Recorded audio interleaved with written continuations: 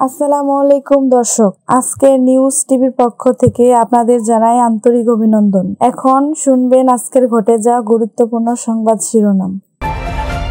পুলিশের মামলায় আওয়ামী লীগের দশ নেতাকর্মী গ্রেপ্তার। রাজধানীতে জামাতের ঝটিকা মিছিল।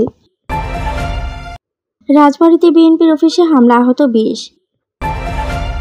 নয়াপল্টনে বিজয় শোভাযাত্রা বিএনপির নেতাকর্মীদের সতর্ক থাকার আহ্বান। নজরুল বিশ্ববিদ্যালয়ে ছাত্রলীগের দু গ্রুপের সংঘর্ষ হল ভাঙচুর। পাকিস্তান এখন আমাদের দিকে তাকিয়ে দীর্ঘশ্বাস ফেলে বলেন তথ্যমন্ত্রী। এতক্ষণ শুনছিলেন সংবাদ শিরোনাম। এবার বিস্তারিত। আমাদের খবরটি যদি ভালো লাগে, লাইক, কমেন্ট, শেয়ার করতে কিন্তু ভুলবেন না। সরিষাবাড়ি উপজেলা তারাকান্দিতে যমুনা সার কারখানা জে এফ সি এল এলাকায় আধিপত্য বিস্তারকে কেন্দ্র করে আওয়ামী লীগের দুই গ্রুপের সংঘর্ষের ঘটনায় থানায় মামলা হয়েছে। শুক্রবার দুপুরে সরিষাবাড়ি থানার উপপরিদর্শক এসআই আব্দুল মালিক বাদী হয়ে বাউন্ন জনের নাম উল্লেখ সহ প্রায় পঁয়ষট্টি জনকে আসামি করে এ মামলা দায়ের করেন। এছাড়া সংঘর্ষের ঘটনায় উপজেলা পরিষদের মহিলা ভাইস চেয়ারম্যান জেলি আক্তারের স্বামী মুস্তাক হোসেন ও গোপাল দীঘা ইউনিয়ন পরিষদের সদস্য প্রবলদিঘি ইউনিয়ন পরিষদের সদস্য মোফাজ্জল হোসেন সহ দশজনকে গ্রেপ্তার করেছে পুলিশ। জানা গেছে, গতকাল বৃহস্পতিবার দুপুরে যমুনা সার কারখানা এলাকায় আধিপত্য বিস্তারকে কেন্দ্র করে উপজেলা আওয়ামী লীগের সাবেক সাংগঠনিক সম্পাদক রফিকুল ইসলাম ও পগুলদিঘা ইপি চেয়ারম্যান আশরাফুল আলম মানিক গ্রুপের মধ্যে সংঘর্ষ হয়। এ সময় এক পক্ষের বিরুদ্ধে গুলি ছড়ার অভিযোগ ওঠে। সংঘর্ষে তিন পুলিশ সহ উভয় গ্রুপের অন্তত পনেরো জন আহত হন। সরিষাবাড়ি থানা ভারপ্রাপ্ত কর্মকর্তা ওসি মোহাম্মদ মহম্মদ কবির বলেন, আওয়ামী লীগের দুপক্ষের সংঘর্ষের সময় পুলিশ ঘটনাস্থলে গেলে সরকারি কাজে বাধা ও হামলার শিকার হন। এ সময় তিন পুলিশ সদস্য আহত হয়। উভয় পক্ষের চিহ্নিত বাউন্ন জন সহ অজ্ঞাত আরও ষাট থেকে পঁয়ষট্টি জনের বিরুদ্ধে মামলা করা হয়েছে। ইতিমধ্যে কয়েকজনকে গ্রেপ্তার করা হয়েছে। বাকিতে গ্রেপ্তারের চেষ্টা চলছে। উল্লেখ্য, যমুনা সার কারখানায় পরিবহন চাঁদাবাজি ও আধিপত্য বিস্তারকে কেন্দ্র করে গত ত্রিশ অক্টোবর রফিকুল ইসলাম ও আশরাফুল আলম মানিক গ্রুপের মধ্যে সংঘর্ষ হয়। এ সময় তিন পুলিশ সদস্য আহত হলে এসআই আব্দুল আজিজ বাদী হয়ে রফিকুল ইসলামকে এক নম্বর ও আশরাফুল আলম মানিককে দুই নম্বর আসামি করে উভয় পক্ষের একশো ছাব্বিশ জনের বিরুদ্ধে মামলা করেন। রাজধানীতে জামাতের ঝটিকা মিছিল। রাজধানীতে বাংলাদেশ জামাত ইসলামী ঝটিকা বিক্ষোভ মিছিল করেছে। শনিবার সকালে এই মিছিল বের করে সংগঠনটি ঢাকা মহানগর উত্তরের নেতাকর্মীরা। বিক্ষোভ মিছিলটি শাহজাদপুর বাস স্ট্যান্ড থেকে শুরু হয়ে নগরের বিভিন্ন সড়ক প্রদক্ষিণ করে বাড্ডা বাস সার্ভিসের সামনে এসে সংক্ষিপ্ত সমাবেশের মাধ্যমে শেষ হয়। জামাতের আমি ডক্টর শফিকুর রহমানকে গ্রেপ্তার ও রিমান্ডের প্রতিবাদ এবং তার মুক্তির দাবিতে এই কর্মসূচি করেছে দলটি। এতে অংশ নেন ঢাকা মহানগর উত্তর জামাতের সেক্রেটারি রেজাউল করিম। জামাত নেতা মাহফুজুর রহমান, নাজিমুদ্দিন মোল্লা, ডক্টর ফখরুদ্দিন মানিক, জিয়াউল হাসান, মাওলানা মুহিবুল্লাহ জামাল উদ্দিন আতর রহমান সরকার, নাসির উদ্দিন, ইসলামী ছাত্র শিবিরে ঢাকা মহানগর উত্তর সভাপতি জাকির হোসেন। পশ্চিম সভাপতি আবদুল্লাহ আল মামুন ও প্রাইভেট ইউনিভার্সিটির সভাপতি হুমায়ুন কবির।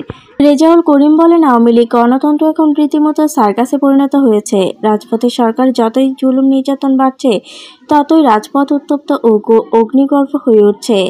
সরকারের পায়ের তলায় এখন সরকারের পায়ের তলা এখন দশ সরকারের পায়ের তলা এখন থেকে মাটি সরে গেছে উল্লেখ করে তিনি বলেন, দশ দফার ভিত্তিতে যুগপথ আন্দোলন কর্মসূচি ঘোষণার পর তাদের মধ্যে হৃদস্পন্দন বেড়ে গেছে। সে আতঙ্কের অংশ হিসেবে তারা এখন বিদেশি কূটনৈতিকদের সঙ্গে কূটনৈতিক শিষ্টাচার বহির্ভূত আচরণ করতে শুরু করেছে। কয়েকদিন আগে সরকার সমর্থকদের হাতে নাজেহালের শিকার হয়েছে মার্কিন রাষ্ট্রদূত পিটার হাস ফলে আন্তর্জাতিক মহলে দেশের সম্মানহানি ঘটেছে। সমাবেশে ষড়যন্ত্র অপরাজনীতি পরিহার করে সরকারকে অবিলম্বে পদত্যাগ করে কেয়ারটেকার সরকারের কাছে ক্ষমতা হস্তান্তরের আহ্বান জানান ঢাকা মহানগর উত্তর জামায়াতের সেক্রেটারি। রাজবাড়িতে বিএনপির অফিসে হামলা হত বিশ। মহান বিজয় দিবস উপলক্ষে পালন করার সময় রাজবাড়ির কালুখালীতে যুবলীগ ও ছাত্রলীগের নেতাকর্মীদের বিরুদ্ধে বিএনপি অফিসে হামলা চালিয়ে অন্তত বিশ জন নেতাকর্মীকে মারধর ও অফিস ভাঙচুর করার অভিযোগ উঠেছে। শুক্রবার সকাল পৌনে নয়টায় সময় কালুখালী উপজেলা বিএনপির কার্যালয়ে হামলার ঘটনা ঘটে।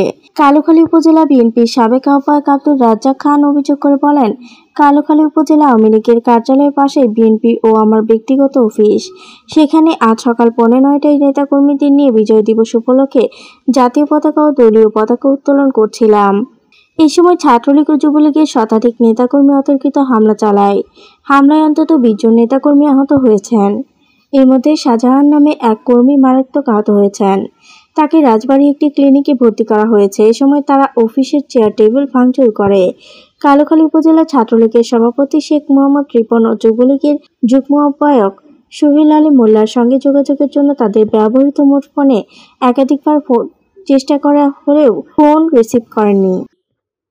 নয়াপল্টনে বিজয় শোভাযাত্রা বিএনপি নেতাকর্মীদের সতর্ক থাকার আহ্বান। মহান বিজয় দিবস উপলক্ষে রাজধানীর নয়াপল্টনে নিজেদের কেন্দ্রীয় কার্যালয়ের সামনে বিজয় শোভাযাত্রা করেছে বিএনপি। শুক্রবার বিকেল তিনটে পঁয়ত্রিশ মিনিটে শুরু হয়ে পৌনে পাঁচটায় শোভাযাত্রা শেষ হয়। বিএনপির কেন্দ্রীয় কার্যালয়ের সামনে থেকে শুরু হয়ে শোভাযাত্রাটি কাকরাইল মোড়, শান্তিনগর হয়ে মালিবাগ মোড় ঘুরে ফকিরাপুর মোড়ে এসে শেষ হয়। এতে বিএনপির হাজারো নেতাকর্মী অংশ নেয়। আজ বেলা আড়াইটায় শোভাযাত্রা শুরু কথা থাকলেও নির্ধারিত সময়ের অনেক আগেই নয়াপল্টনে দলের কেন্দ্রীয় কার্যালয়ের সামনে জড়ো হতে থাকেন বিএনপি নেতাকর্মীরা। বেলা একটার আগেই নয়াপল্টন ছাড়িয়ে নেতাকর্মীদের ভিড় আশেপাশের এলাকায় ছড়িয়ে পড়ে। ছোট বড় বর্ণিল সব ব্যানার ফেস্টুন ও প্ল্যাকার্ডে ছেয়ে যায় সমগ্র এলাকা। এসব ব্যানার ফেস্টুনের শোভা পায় দলের প্রতিষ্ঠাতা জিয়াউর রহমান, চেয়ারপারসন খালেদা জিয়া, ভারপ্রাপ্ত চেয়ারম্যান তারেক রহমানের ছবি। এ সময় তাদের বিভিন্ন স্লোগান দিতেও বিএনপির শোভাযাত্রার কারণে নয়াপল্টন এ এর আশেপাশের সড়কে দীর্ঘ সময় যান চলাচল বন্ধ ছিল। যানবাহন না পেয়ে মান, অনেক মানুষ হেঁটে গন্তব্যে যেতে হয়েছে। তবে মিছিলের মধ্য দিয়ে দেওয়া হয়েছিল অ্যাম্বুলেন্স চলাচলের সুযোগ। শোভাযাত্রা ঘিরে আগে থেকেই সতর্ক অবস্থানে ছিল আইন শৃঙ্খলা রক্ষাকারী বাহিনী। শোভাযাত্রার উদ্বোধন করেন বিএনপি স্থায়ী কমিটির সদস্য ডক্টর খন্দকার মোশারফ হোসেন। তিনি বলেন, আজকের এই শোভাযাত্রা প্রমাণ করেছে আমরা পারি, অতীতে পেরেছি, আগামীতেও পারব। সরকারি কোনো হুমকি, ধুমকি, রক্তচক্ষুকে তোয়াক্কা না করে জনগণের আশাকাঙ্ক্ষা পূরণ করব। দলীয় নেতাকর্মীদের উদ্দেশ্যে ডক্টর খন্দকার মোশারফ বলেন, সরকার উস্কাচ্ছে, মিথ্যাচার করছে। আপনারা কোনো উস্কানিতে কান দেবেন না। শান্তিপূর্ণভাবে জনগণকে সঙ্গে নিয়ে আমরা আমাদের লক্ষ্য অর্জন করব। তিনি বলেন, আজকে যখন সরকার দেখেছে তাদের দিন শেষ, তখন দেশে তারা বিএনপির বিরুদ্ধে মিথ্যাচার করছে। নজরুল বিশ্ববিদ্যালয় ছাত্রলীগের দুই গ্রুপের সংঘর্ষ হলো ভাঙচুর। বিজয় দিবসের অনুষ্ঠানে যোগদানে কেন্দ্র করে জাতীয় কবি কাজী নজরুল ইসলাম বিশ্ববিদ্যালয় ছাত্রলীগের দুই গ্রুপের সংঘর্ষে একজন গুরুতর আহত হয়েছে। শুক্রবার দুপুরে এই ঘটনা ঘটে। আহত ছাত্র তাওহিদ আহমেদ তুষার ডায়মন্ড, তিনি বিশ্ববিদ্যালয়ের নাট্যকলা বিভাগের মাস্টার্সের ছাত্র।